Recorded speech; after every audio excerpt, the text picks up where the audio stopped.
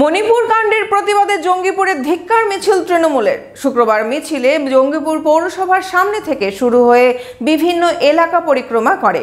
মিছিলে কালো ব্যাজ পরে হাঁটেন দলীয় নেতৃত্ব ও কর্মী সদস্যরা। ল্যাপটপ, ডেস্কটপ, সিসিটিভি ইত্যাদির authorise dealer your trusted technology provider Delta computer Khagra, Berhampore. হ্যাঁ আমাদের এইচপি শোরুম এখন রানী বাগানেও মণিপুরে নারীদের উপর নির্মম অত্যাচারের বিরোধিতায় জঙ্গিপুরে পথে নামল তৃণমূল কংগ্রেস। সারা দেশ এখন উত্তাল মণিপুর কাণ্ড নিয়ে।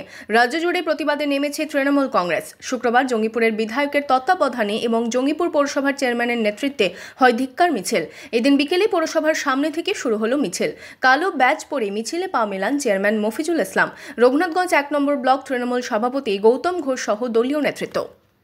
ছিল আপনারা জানেন যে মণিপুরে যে বিজেপি শাসিত রাজ্য যেখানে কেন্দ্র সরকার বিজেপি শাসিত রাজ্যে সরকার চালাচ্ছে সেখানে আজকে মহিলাদের উপরে মা বোনদের উপরে যেইভাবে দুজন মহিলাকে নৃশংসভাবে যেইভাবে আপনার আজকে গঙ্গা সেতুওয়ালাকে যেভাবে অত্যাচার করেছে আজকে সেই জায়গায় দাঁড়িয়ে গোটা ভারতবর্ষে আজকে আমাদের লজ্জা ভারতবর্ষে কেন্দ্রের শাসিত স্বৈরাচারী সরকার সাম্প্রদায়িক সরকার যেভাবে আজকে উচ্চবর্ণ এবং নিম্নবর্ণের মানুষের উপরে আজকে ভাগ করে দিয়ে তারা যে সম্প্রদায়কে ভাগ করে দিয়ে মানুষের উপরে যেভাবে অত্যাচারিত করেছে লাঞ্ছিত করেছে, তার বিচার ব্যবস্থা কোনো কিছু নেই। মণিপুর আজকে বিজেপি শাসিত রাজ্য, কিন্তু তার এই ব্যতিক্রম দেখেন আজকে পশ্চিমবাংলায় মাননীয় মুখ্যমন্ত্রী মমতা ব্যানার্জি। একমাত্র মুখ্যমন্ত্রী, তিনি আজকে পশ্চিমবাংলায় মায়েদেরকে, বোনেদেরকে এক নম্বরে গোটা ভারতবর্ষের মধ্যে তিনি আজকে এক নম্বরে সম্মানের দিক থেকে রেখেছেন।